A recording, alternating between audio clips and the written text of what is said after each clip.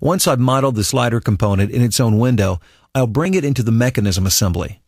Since I have both the slider component and the mechanism assembly open, I'll tile the SolidWorks window so I can see both files. Then I'll drag the cylindrical face of the slider into the assembly window over the large cylindrical face that it mates to. This activates a smart mate, and the slider should snap into place. If it's not oriented correctly, I can press the tab key to flip the part the other way. The result of this smart mate is a concentric mate between the parts.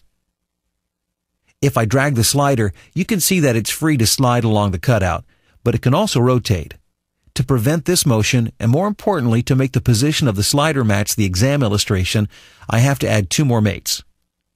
I'll select the top flat face of the block and the right plane of the slider and add a parallel mate. If you're wondering why I use the right reference plane instead of the one of the small flat faces of the rectangular cutout, here's my reasoning.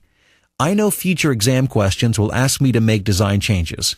I just don't know what those changes will be if I tie the positioning of this part to a minor feature like the cutout, which I could easily be asked to change later, I'll have to come back and make a change to the parallel mate.